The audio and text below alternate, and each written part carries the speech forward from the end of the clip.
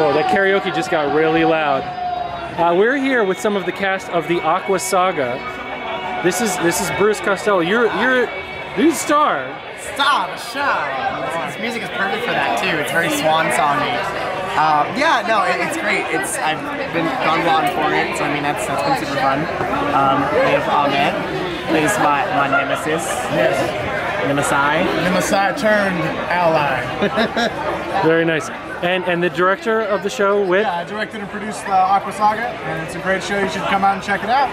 But the re- the real reason why we're talking to you is not to talk about that show. We need to know who's your fringe crush. So you guys, I guess we'll go in turn. Okay. So uh, my fringe crush was the sa- same as I did it last time, and I'm, I'm holding true to this. Brittany Wine.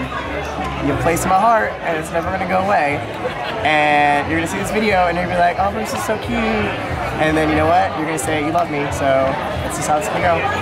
Te- tell him, tell him, tell him that you'll never be. I don't remember. tell him right now. That's how it ends. I will. Brit- uh, Brittany Wine, fringe crush filler. Oh Do you- God, pressure. Spot on the spot on the spot. Spot. Okay, let me define. How many crushes can I have? Because you know I'm not a player, but I like to crush a It's lot. 2014. I mean, poly- polyamory is a thing. You can, you can have more than one partner. Okay, okay. All right, so I'm gonna start with uh, the cast of the Oyster Boy because those girls were awesome. Saw the show, loved it. Um, I'm gonna go with Adrian and Craigslist because Nice. yes, yes, she's a personal friend of mine. She did amazing.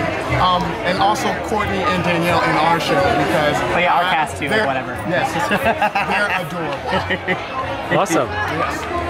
And I think Awesome. Well, I have to second Ahmed. I'm all about all the girls in Oyster Boy. Oyster Boy, And I haven't even seen the show. chicks And with accents, You guys playing focus- ukuleles. Why You not? seduce me with your accents. What can I say?